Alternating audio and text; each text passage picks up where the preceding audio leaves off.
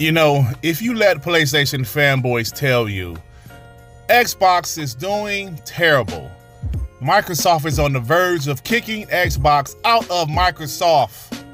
That's what they would want you to believe. That's the shit that they put on social media that Xbox is doing bad. But in reality, Xbox is doing amazing. The Xbox brand is absolutely killing it.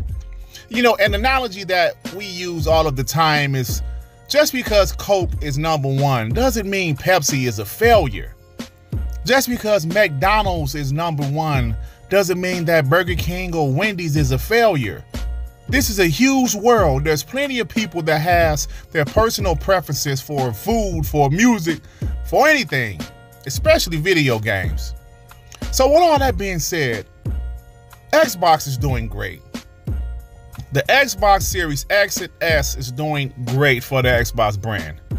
It's doing so well that Phil Spencer himself said this At this point, sold more of this generation of Xboxes, which is Xbox Series X and S, than we had any previous version of Xboxes. Any previous version of Xboxes. Now, of course, that means the original Xbox, the Xbox 360, the Xbox One, so yeah, Xbox is doing incredibly well. I know these PlayStation fanboys, they want us to believe that Xbox is on the verge of, of, of bankruptcy or some shit. They want us to believe that because the PlayStation 5 has sold more, the Xbox doesn't have a chance in hell. That's what they want people to believe. It's just not the case. Now we know that PlayStation 5 has sold like maybe 15 to 16 million consoles at this point, and that's amazing. Kudos to Sony. But Xbox has sold around 12 million, according to Z Huge. Z Huge said this would put Xbox Series X and S over 12 million shipped, according to our estimates. The dual SKU strategy has paid off for Microsoft amid the supply chain issues, semiconductor shortage, Increased production of S allowed for more Xboxes on shelves than if they only had X. Now, people said the Xbox Series S was a mistake. See, looking at it, I said from the beginning the Xbox Series S is going to move units. Us hardcore gamers, they made the Xbox Series X for us. The PS5, the Xbox Series X, that's for us hardcore gamers. These damn casual gamers, the kids, the kids don't give a shit about 4K, 60 frames per second. They don't care about that.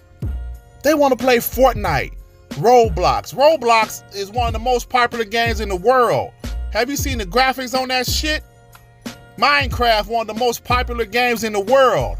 Have you seen the graphics on that shit?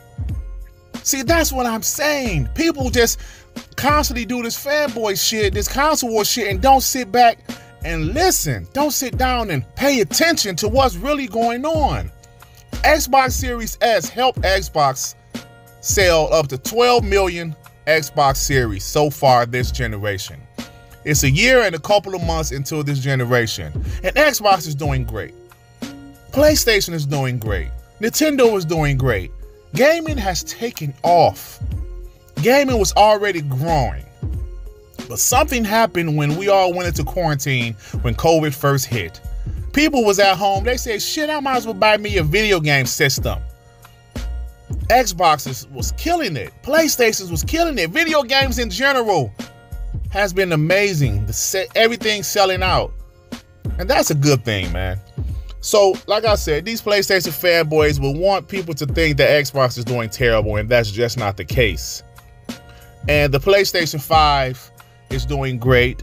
And um, you know, guys that had the PS4, they just upgraded to the PS5. And Xbox job, what they have to do is try to lure some of those people back. Because we know there was a lot of Xbox 360 owners, Xbox 360 fans that left Xbox One and went to the PS4 last generation. I know several people personally in my real life that did that. They left the 360 and went to the PS4. So what Xbox has to do is somehow lure some of those folks back and and even get new folks to come and give the Xbox brand a chance.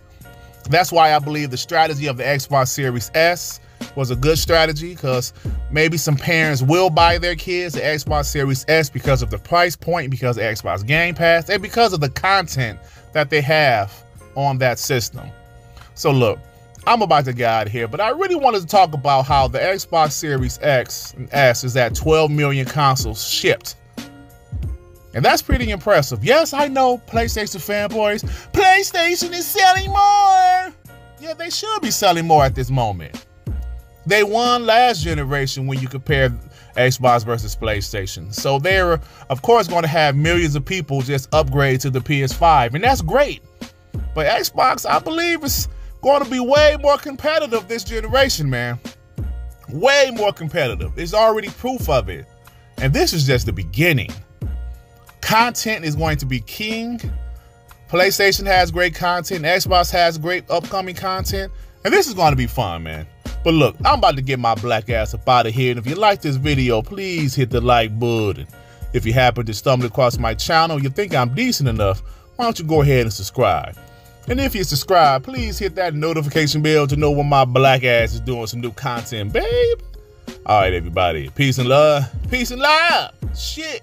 Damn, man.